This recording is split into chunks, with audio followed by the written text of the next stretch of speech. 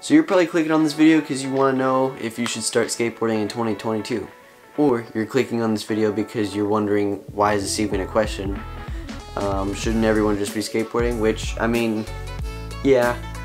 Um, I wouldn't really say no, you shouldn't start skateboarding in 2022 for unless there's something, you know, crazy. Um, but before we get into that, I'm going to show you guys some skateboarding because I have just a bunch of clips that I've put together and I have no use for them other than to put them in a YouTube video. So I'm going to show you guys in this video because I have no other video to put it into. So enjoy the skateboarding and then we'll get back to the question. Oh my god! Oh my god! Ugh.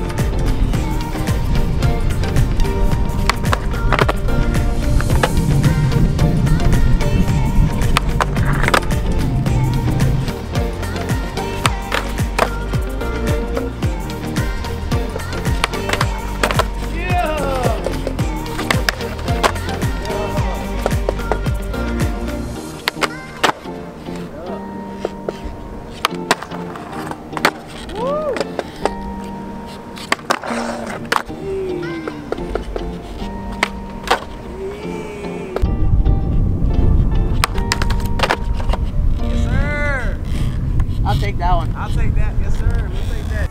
So that was some pretty good skateboarding. I landed a couple things I was really proud of. Um, the tail slide, shove out, and then the double hard flip. I want to get the double hard flip cleaner though, and like get it consistent, but it's gonna be a battle. Anyway, should you start skateboarding in 2022? Probably. There's a few things you gotta consider in this case, because like if you have a really bad injury or something where you uh, physically can't move your legs and you know take an impact on concrete all the time, it probably really isn't a good idea to start skateboarding in 2022. Or if you're scared of getting hurt, you're gonna be very limited in what you can do skateboarding, especially if you want to get good at skateboarding.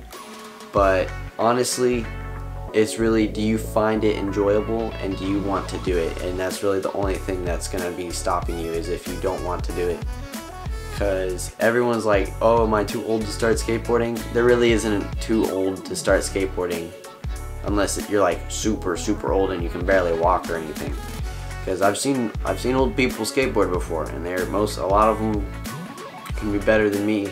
So it's really no reason for to not skate, start skateboarding if you're old. So really, as long as you think you're gonna have fun skateboarding, I think you should definitely do it. But if you're scared of getting hurt, you probably want to consider not doing it if you don't want to get hurt because you will get hurt skateboarding. But really you just gotta take it up upon yourself if you really want to start skateboarding. If you have the time to skate even because I know as soon as I got a job skateboarding it's just you know like once every week or once every two weeks or something like that so you just gotta keep that in mind all those things and you should you know be able to come to your own conclusion whether or not you should or should not start skateboarding but I think if you have the time and you want to you definitely should no matter how old you are or any of that crap so I hope you enjoyed the video click on this video and it'll have more skateboarding.